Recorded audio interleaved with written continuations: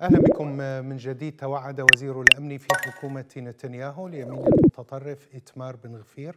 توعد المقدسيين بحملة عسكرية يبدأها الأحد بدعوى الرد على عملية الدهس الجمعة والتي أدت إلى مقتل مستوطنين وجرح آخرين. وذكر الإعلام العبري أن بن غفير توعد بعملية سور الواقي اثنين والتي تشمل شن عمليات اعتقال واسعه ضد الفلسطينيين في القدس وتكثيف العمليات الأمنية داخل الأحياء الفلسطينية ومواصلة تدمير المنازل وإجراءات قمعية للنشطاء على مواقع التواصل الاجتماعي بدعوى تحريضهم ودعمهم لهجمات الفلسطينيين. وحذرت شخصيات في دولة الاحتلال من تداعيات دعوة بن غفير مؤكدين أنها قد تؤدي إلى اندلاع مواجهة مفتوحة مع الفلسطينيين.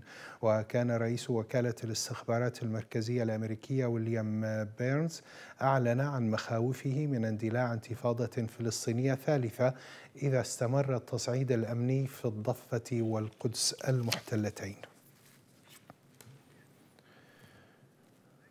مشاهدينا للمزيد أرحب بضيفي من القدس السيد راسم عبيدات الكاتب والمحلل السياسي. أرحب بك سيد راسم. إلى أي مدى سيستطيع بن غفير تنفيذ تهديداته؟ وهل يحظى بدعم داخل حكومة نتنياهو؟ بداية دعني أقول بأن حكومة الاحتلال هي تلجأ للقيام بأساليب ووسائل قديمة جديدة جرى تجريبها وفي آه، في مدينة القدس وهي تدور في نفس الحلقة المفرغة وتصل إلى حالة من الإفلاس السياسي والأخلاقي.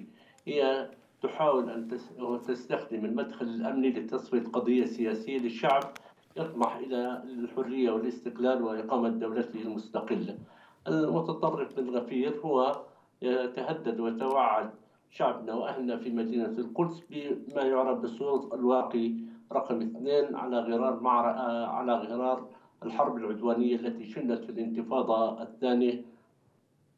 نعم. طيب أه ما يقوم به بن غفير سيد راسم.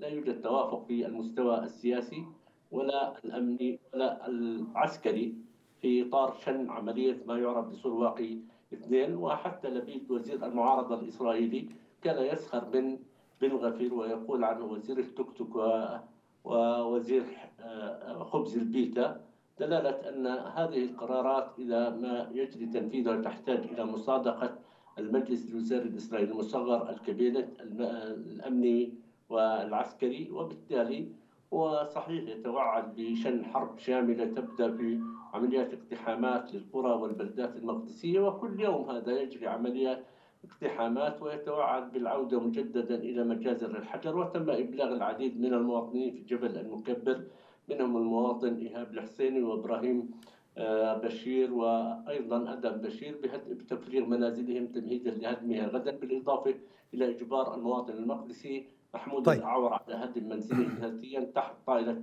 آه، تحذيره من آه، تحميل تكاليف عملية الهدم نحن نقول في هذا الإطار بأن ما يقوم به بن غفير هو يدفع باتجاه التصعيد وانفجار الأوضاع في مدينة القدس وقيام بإدخال ثلاثة سرايا عسكرية من طيب. جيش الاحتلال إلى مدينة القدس مؤشر على أن شهر رمضان القادم سيشهد حالة من التصعيد غير المسبوق وخاصة في ظل التحضير في ظل التحريض من قبل بن غفير وغيره على شهر رمضان. ولكن ولكن سيد راسم يعني في ظل التوازنات المعقدة داخل حكومة آه، آه، نتنياهو إلى أي مدى برأيك سيستطيع نتنياهو آه، لجم بن غفير وإلى أي مدى سيكون لهذا مواجهة بين الطرفين إذا صح التعبير.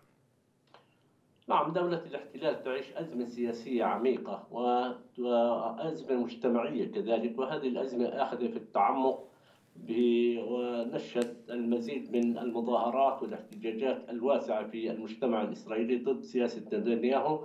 وضد خطة يريب لبين وزير ما يعرف بالقضاء الإسرائيلي للسيطرة على منظومة القضاء. ولذلك هذه التحديات الداخلية والتحديات الخارجية التي يواجهها نتنياهو هي ستدفع بنتنياهو من محاولة لجم هذه القوى الدينية المتزمتة في المجتمع الإسرائيلي أو ما يعرف بالداعشية الإسرائيلية لأن استمرار سياسة بن غفير هذه والعمل على القيام بتحقيق أهدافه ومشاريعه بغض النظر عن المرحلة السياسية ورغم مجيء الوفود من الإدارة الأمريكية آخرهم وزير الخارجية الأمريكي بلينكن وأيضا الوساطات العربية من قبل مصر والأردن من أجل خفض وتيرة التصعيد في الأراضي الفلسطينية المحتلة وتحديدا في الضفة الغربية وفي مدينة القدس. واضح أن هذه الوساطات لم تنجح بدلالة أن دولة الاحتلال أقدمت على اغتيال خمسة مقاومين في منطقة عقبة جبر بأريحة ورد على ذلك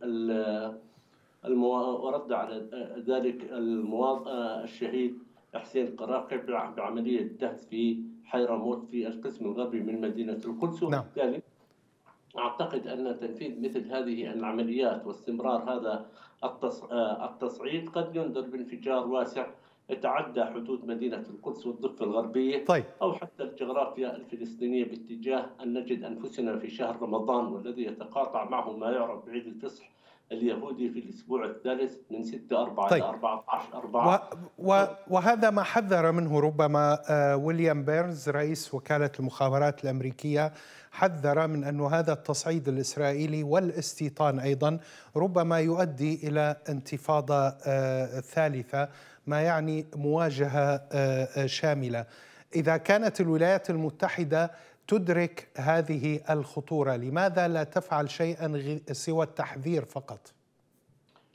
نعم طوال طوال آه، فترة الاحتلال ونحن نسمع الولايات المتحدة الأمريكية تقول أنها محل الدولتين وأن أنها تدين خطوات أحادية الجانب سواء الاستيطان أو العمل على تغيير الحقائق والوقائع في المسجد الأقصى وغيرها من آه، البيانات التي تصدرها الإدارة الأمريكية. ولكن على أرض الواقع الولايات المتحدة الأمريكية واضح أنها تسعى إلى إدارة الأزمة وليس إلى حل هذه الأزمة وخاصة أنها داخل الولايات المتحدة الأمريكية هناك لوبيات صهيونية ضاغطة على الولايات المتحدة الأمريكية تمنعها من فرض أي عقوبات أو اتخاذ أي قرارات بحق دولة الكيان ومن هذا لا. نعم. المنطلق الولايات المتحدة الأمريكية فقط هي تطلق بيانات وتصريحات لا يوجد لها أي ترجمات عملية على الأرض وتمارس الضغوط على الجانب الفلسطيني من خلال العديد من الدول العربية لعدم الرد على ما تقوم به إسرائيل من عمليات قتل وعمليات نعم. اقتحام نعم. وعمليات استيطان وتغيير الوقائع في المسجد الأقصى شكرا لك سيد راسم عبيدات الكاتب والمحلل السياسي كنت معي من القدس المحتلة